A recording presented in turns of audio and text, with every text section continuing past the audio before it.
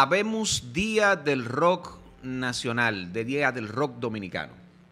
La diputada Iselmari Brito, mejor conocida como Juliana O'Neill, ¿no? conocida merenguera y ahora legisladora de la Fuerza del Pueblo, pues sometió un proyecto de ley y fue aprobado en primera lectura. Tiene que pasar una segunda lectura para ser ya eh, aprobado y se espera más adelante la promulgación por parte del Poder Ejecutivo. Yo creo que es una gran conquista porque está dedicado, está inspirado este proyecto en la figura de Luis Díaz. Y ese Día Nacional del Rock Dominicano será el 21 de, julio, de junio, precisamente el día de su natalicio.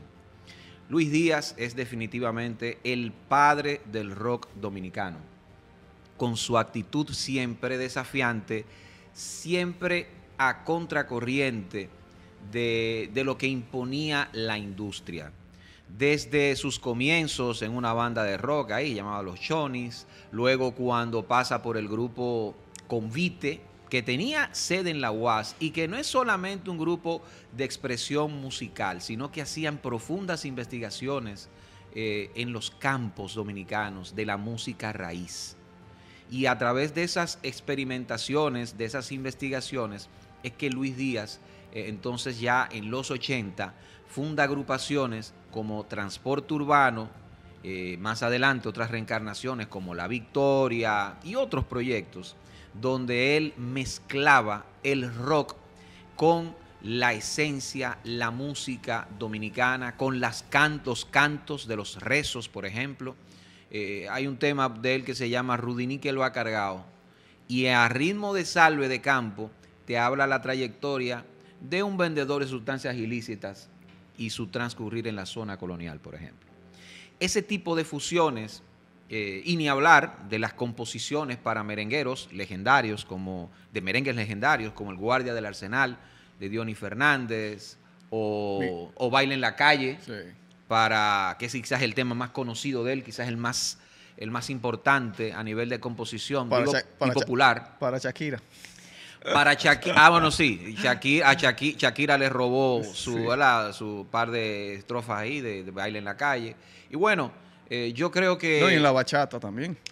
Se adelantó en la bachata. Inclusive uno habla de que el revolucionario en la bachata y quien la perfumó eh, fue eh, Juan Luis Guerra. No, no. Un año antes de Bachata Rosa, sale, bueno, creo que dos años antes, porque Bachata Rosa me parece que es del 91, no, no lo tengo claro, no lo recuerdo bien, pero en el 89 sale el, álbum de, fusiones de bachata eh, de Sonia Silvestre. Y ahí tenemos temas como Mi guachimán me salvó, Cómo tú quieres dormir, Yo quiero andar. Y bueno, los experimentos también que siguió haciendo con bachata Luis Díaz a finales de los 90 con su álbum El Accidente maravilloso también, donde mezclaba la bachata con el blues, con el heavy metal, con todos esos géneros. Y recuerdo, por ejemplo, eh, un homenaje o un concierto que, es un homenaje, un concierto que le organizó, que, le organizó Van Inter, el entonces banco, poderosísimo banco Van Inter, en el Teatro Nacional llamado la Suite Folclórica Dominicana, donde en la primera parte él hacía un recorrido de la música raíz dominicana y en la segunda parte entonces venía con su, con su, este, con su estampa del rock pesado. El legado de Luis Díaz es importantísimo porque hablaba de temas que, nos, que eran inherentes a la, a la identidad del dominicano. Hablaba de cosas que le importaba a la gente, que le importaba a la gente del pueblo, ¿no? Él no te hablaba de ese rock que hacían muchos grupos dominicanos o quizás la mayoría inspirados en lo de fuera. Y eran como una recreación de, lo, de las canciones de grupos de fuera. Y por eso muchas de esas bandas, a excepción eh, de toque profundo, han estado, están en el olvido. Gran parte de ellas, por no decir todas, están en el olvido porque no, no veían más allá, no, no les interesaba mezclarse con el barrio, no, les no miraban al campo, no les interesaba eso. La herencia de Luis Díaz la recoge, por ejemplo, esa, cosecha, la, por ejemplo, lo está recogiendo Vicente García, que hacía lo que hace, lo que está haciendo lo mismo que Luis. ¿eh? Que ganó un Grammy recientemente y que los había ganado antes, creo que en 2018 o 2019 por ahí, eh, por, un álbum. Y, la verdad es que hace, tiene el mismo trabajo de fusión de la, de, la música, ¿no? Del rock o de otras, de reggae, con otros, con géneros netamente dominicanos. Em, yo creo que es un gran día. Hay mucha gente eh, que se está quejando por esta iniciativa. Hay mucha gente que está diciendo que el país tiene muchos problemas como para que los eh, legisladores estén ocupando su tiempo en cosas como esta. Pero me parece que es una declaración y una forma de pensar eh, que demuestra una ignorancia total. Porque el arte, el arte es una parte que uno siempre tiene que ponderar y reconocer. Y más viniendo de un hombre como tú lo acabas de decir, Luis Díaz, que yo creo que Díaz. Yo creo que Luis Díaz es una de las cosas que dentro del arte dominicano, una de las cosas más originales que ha parido la República Dominicana, originales.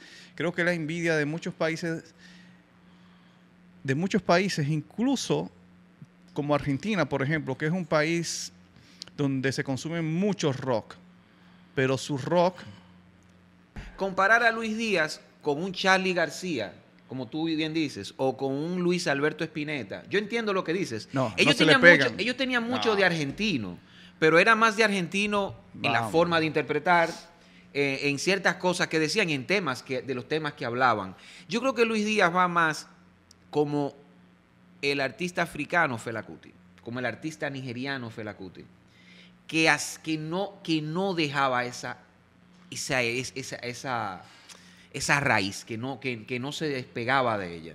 Yo creo que, va más por ahí, eh, para mí, la, comparación con, con, Luis Díaz. Está por encima del rock, Luis Díaz. Pero claro que sí. Está, por, encima, del, rock. encima del rock. Él agarró. Es, como que está por encima del rock, pero su actitud de rockero tampoco al lado, Al lado, por encima. Por ejemplo, Juan Luis Guerra ha hecho muchas fusiones.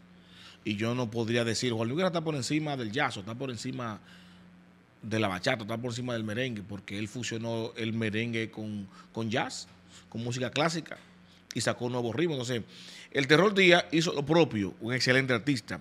Yo pienso que tú puedes ir todo al lado, que hizo, un, eh, que hizo una fusión interesante, se basó en rock y en, música criolla y sacó un propio estilo. Pero yo decir que está por encima, yo entiendo, sin, reto, sin interés de, de, de restarle mérito al Terror Día, yo creo que es un exceso en, eh, eh, en contra del propio género del rock. No, lo que pasa es que yo, o sea, lo digo por la originalidad, que es una de las cosas más difíciles que hay hoy en día, y más cuando tú estás haciendo rock, que se que el rock, o sea, se ha hecho, o sea, se han hecho todas las, las cosas, y tú sacar algo original de ahí, eso, eso para mí eso es una superación supera los límites que el propio rock te, da. no, y, además, la, además de cómo, de, la música, de cómo lo llevó, porque Luis Díaz no estudió música, por eso es otra cosa, él no te sabía leer una nota, pero te tocaba guitarra. Em, eh, era, para mí era un, un, ¿cómo se llama? Un superdotado y sobre todo cómo escribía. También era interesante cómo pensaba el terror. El terror, en una entrevista que le hizo Amable López Meléndez, me parece. Amable López Meléndez. No recuerdo cómo se llama, era un crítico de arte, ¿no? No recuerdo ahora su nombre. Pero salió publicado, me parece que en el, nuevo, en el nuevo diario, y está por ahí, usted lo busca en internet. En, en esa entrevista, él anunciaba en 1986 la muerte del merengue. Como él criticaba el merengue y como él decía, en lo como él denunciaba los facilismos en los que había caído, en una pobreza a nivel de, arreglos y de estructuras, él decía que el merengue le quedaba, no le quedaba mucho tiempo. Quizás, eh, eh, quizás falló un poquito en los cálculos, quizás murió un poco más tarde, pero tú entendías que ya él veía problemas estructurales en el ritmo. Y amén de algunas excepciones, como Ramón Orlando, pues quizás eh, uno, uno cuando lee ese artículo se da cuenta de que Luis estaba viendo más, más adelante y él tenía esa, esa facultad de ver más adelante, de ser también, señores, un, una, ¿cómo se llama? Una fuente de contradicción eterna. A mí me cuentan de que una vez él fue a un intercambio eh, musical con Cuba y él fue con un corte de pelo. Y el corte de pelo tenía la bandera de Estados Unidos. Y cuando interpreta, cuando va a cantar, lo que hace es cantar en inglés. Mierda. Hablando de Cuba en los años 80, Fidel sano, sano, joven, joven todavía. Entonces era, él siempre se caracterizó por eso. Era una, la verdad es que yo creo que, como tú dices, ese día, este día es importante que se destaque porque en la Cámara de Diputados hay, hay cientos de proyectos, señores, cientos de proyectos que no sirven para nada. Día del caballo de qué sé yo qué, día del, del puerco de qué sé yo dónde, día del vaina del vaina. O sea, así como hay proyectos importantes que, que se aprueban, o hay otros que, no se leen, préstamos sobre todo, que no se sabe de su concepto, que no se sabe de para qué se van a usar, o que no está claro el destino, o si está claro el destino, en la misma Cámara de Diputados no se fiscaliza eso, dependiendo de la mayoría mecánica del partido de turno. Entonces, que se apruebe esto, sobre todo inspirado en el padre del rock dominicano, un ritmo que existe, y que ahora en República Dominicana tiene otro matiz. ¿Por qué? El meren rock y el tecnoamargue fue el que lo hizo. Exactamente. Pero ¿qué está pasando? Los jóvenes de ahora, para que tú veas, la vanguardia de ahora, lo que hace es bachata.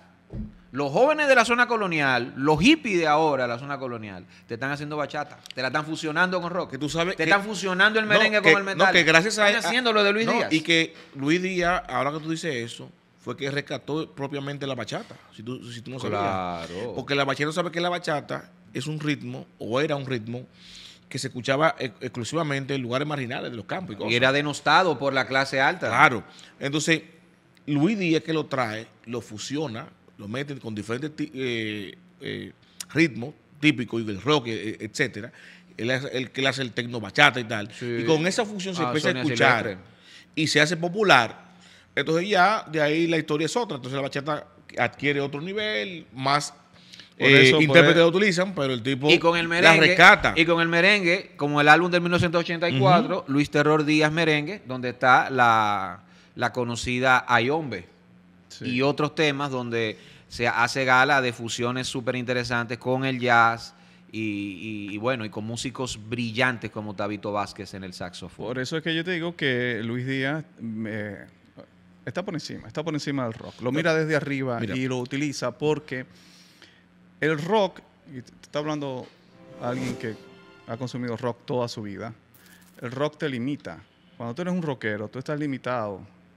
Estás limitado a escuchar eso nada más. Y todo lo demás te parece ah, poco... Eh, te parece poco, o sea, te parece más bajo. Imagínate tú, el rockero, ¿qué le puede parecer una bachata? O sea, por Dios. Entonces, eh, uno de los aportes de, Luis Díaz es decir, bueno, ok, yo estoy utilizando el rock para hacer algo nuevo. Y llámame rockero. Si tú quieres, yo soy rockero para ti. Padre del rock. en algunos círculos aquí lo consideran yo estoy haciendo algo nuevo. Ah, yo estoy haciendo algo nuevo. Habría que, para ser más justo, inventarse un nombre para el género que creó Luis Díaz. ¿No? No limitarlo al rockero porque es que él no estaba limitado a eso nada más. No, no, sí, pero que yo te digo, el único que, él, no es el único que ha hecho fusiones, hay muchos No, lo que pasa es que, mencionaste, mencionaste y el que haga una fusión no, te convierte que tú hiciste algo superior a lo, a lo que tú estás fusionando. Eh, mencionaste a Juan Luis Guerra, pero él, eh, o sea, Juan Luis Guerra, eh, como tú quieras, ¿ah? él empezó haciendo merengue. ¿Quién? No. Está bien. No. Lo que tú, él empezó haciendo. Juan Luis rockero. Disculpa, disculpa. su primer álbum, ¿cuál es? Y, jazzista, inclusive de formación. Sí. pero, y su, primer, álbum. Su primer álbum se llama Soplando. No, falso. No es merengue, es su primer Sí, álbum. una fusión, en- eh, sí es merengue, es una fusión, sí, sí, sí. Es fusión, no es merengue. Pero lo ah, que bueno. Para Luis sí es fusión, para Juan Luis no. No, lo que pasa es es, que fusión de lo merengue. que pasa... Lo- pero lo que dice Maracayo es, es que música. No, no, pero la Ni fusión siquiera tiene. A ni- ver, es solamente te instrumento. creo, te- te- yo estoy de acuerdo contigo, pero Y él que dice- rock, lo que entiendo- jazz, música clásica. Lo que entiendo que dice. Maracayo es que a Dime. partir del, o sea, merengue, todo a partir del merengue. Luis Díaz no se hizo popularizó, se popularizó con el merengue. Es que Luis Díaz par- viene, inicia con rock. Está muy lejos de la bachata, iniciando con rock. Pero Juan Luis también. No, es que lo- Juan Luis Guerra inicia lo que- con merengue No, y, es- y- y del merengue a la bachata. Pero que tú me hablas que él inicia, como que él inicia, como que Luis Díaz inició solamente. ¿Qué es lo que escuchaba Juan Luis?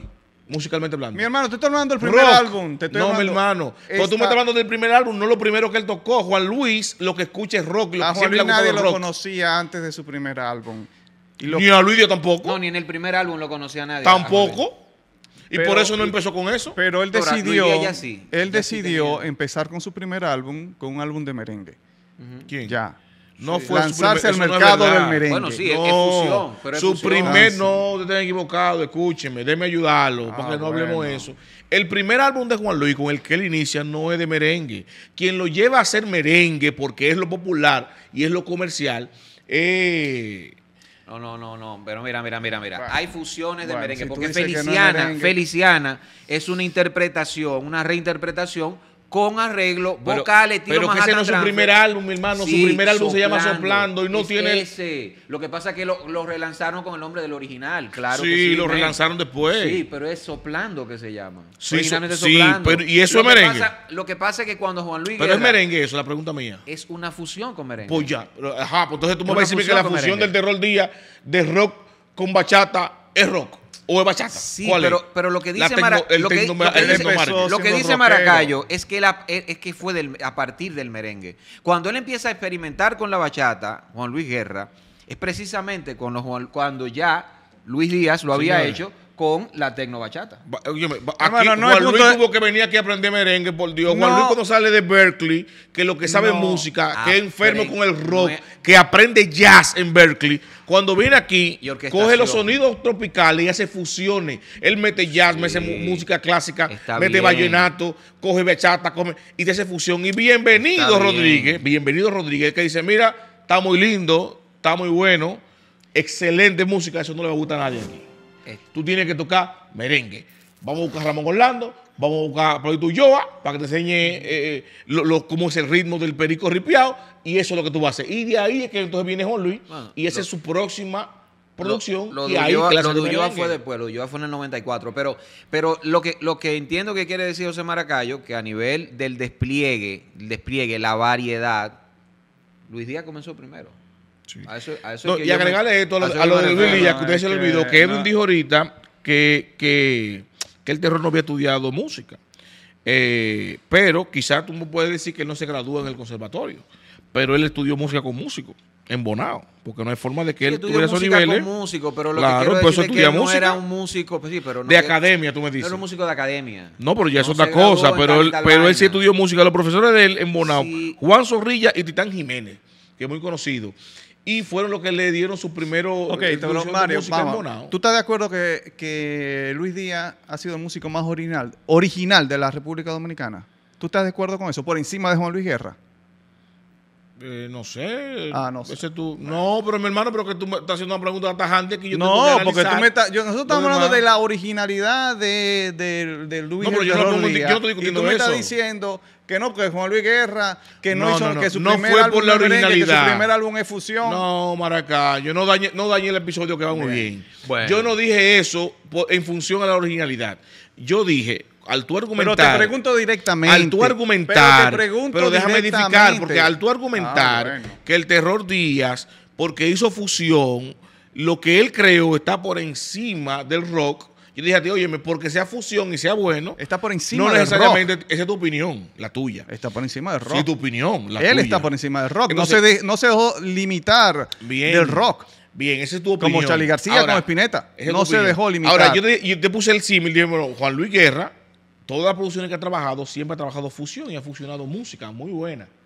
música, fusionando diferentes ritmos. Ahora, yo no me atrevería a posicionar a Juan Luis por encima, de- por encima del jazz o de la música clásica, porque él hizo fusiones. Como Bueno. tú estás poniendo a, a- a- a- esa es mi opinión. Yo, creo- respeto la tuya, yo- pero respeto la yo mía. creo, yo creo que Luis Díaz es el- así, es el padre del rock dominicano. Y, Correcto, y estamos de yo acuerdo. creo que es la, es la figura más importante del género, pero no solamente eso. Creo que a nivel de la música dominicana fue un gran revolucionario. Porque yo creo que Muchos aportes. el rock, en el rock, el rock lo limita.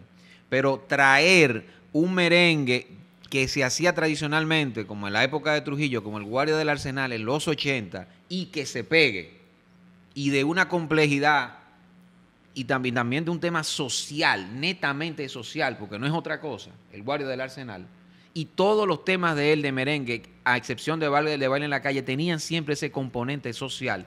Hacer eso es una cosa impresionante, porque, Eh, por ejemplo, ella me vivía, que Sí. interpretó Cañaveral. Eh, pues sí, muy dura, muy dura, muy dura. ¿Eh? muy dura, Pero ven muy dura, acá. Muy dura. Todo, el elemento amoroso estaba atravesado No, yo, por no lo conozco, social yo, no, yo no conozco, yo no conozco un tema del terror que no me guste. Yo no conozco uno que diga, eh, no, no Te voy a poner uno, ahora No que- está no me ahora Yo no cómo se llama, uno. que una ratrería interpretada por Ledesma, pero por, desde la interpretación. Cuando tú oyes la letra, tú dices, el diablo, este es un tema que en voz de otra persona es una joya. Pero lo que di yo te voy a poner ahorita ese tema para que tú veas. Felicitar a Juliana también porque ha reconocido, eh, siendo ella merenguera, ¿no? Ha reconocido el rock dominicano. Ahí sí. Y hay que, ahora que estamos exacto. viviendo una época de dembow, donde nuestros jóvenes, eso es lo que están escuchando, y que aquí en los años tú un virado, 90, a, mediados de los años Definitivamente. 90, a mediados de los años, a finales de los, mediados de los años 90, se escuchó mucho rock dominicano por bandas inter- como Toque Profundo, que es una de las bandas íconos del rock dominicano. Y la, la sociedad tiene que ver esos jóvenes, los jóvenes que consumían ese rock, ¿qué aporte han hecho a la sociedad? ¿Dónde están ahora? ¿Qué estudiaron esos jóvenes? En- ¿no? Hay Eh, mucho vicioso. ¿qué Mucho ca- tiempo. ¿A qué tú llamas vicioso? Que usen droga. El problema no es la droga, amigo. El problema Hay no es la droga. hay mucho, Dro- mucho, droga mucho. han usado No, lo- no, la mayoría de presidentes de Estados Unidos. Bueno, no, pero ahí, está, ahí van tú a meter que es vicioso. Pero que tú que estás te, te, te ofendiste que fue. Eh, Discúlpame, Flor, si te no, porque marchité. eso, eso- ese discurso anacrónico tuyo ahora que meten droga. Hay vicioso, hay vicioso. Las canciones, la- las canciones rockeras, por ejemplo, de protesta que hubo aquí, yo no sé si tú recuerdas el hijo de Uchi Lora, Sí, sí, sí, sí. Janio Anio Lora. Con Despierta Santo Domingo. O sea, el rock aquí dominicano se ha utilizado para despertar, para llamar a la juventud a que, o sea, te atento de los políticos que te están, do- que te están jodiendo, ¿me entiendes? Eh, que es muy contrario al dembow, que es lo que está dominando la juventud hoy No, en y es día. celebración. Y, y si vamos a vicio, el vicio es la norma en el dembow. Entonces, es muy felicidades por esta iniciativa. El rock eh, dominicano tiene ya su, su día y por lo menos. Es es bueno, antes de cerrar el capítulo, eh, permíteme mencionar quizá, eh, esto es importante para que alguna gente joven que nos vea, que no conozca a profundidad el terror día, sepa, por ejemplo, a- a- hasta qué nivel llegaron sus composiciones. Estamos hablando que artistas como Sergio Vargas, que Kaki Vargas, Sonia Silvestre, Wilfrido Vargas, Dionis Fernández, Los Hijos del Rey, Fernando Villalona, Mark Anthony inclusive, Alex Bueno. Alex Bueno han tocado temas compuestos por el terror Luis Díaz, para que ustedes vean el tamaño y la, envergadura del artista del que estamos Más hablando. original que Juan Luis Guerra, ¿Mm? ¿sí o no? No, habría que analizar. No, no me, me parece, me mejor y me parece el más auténtico artista dominicano.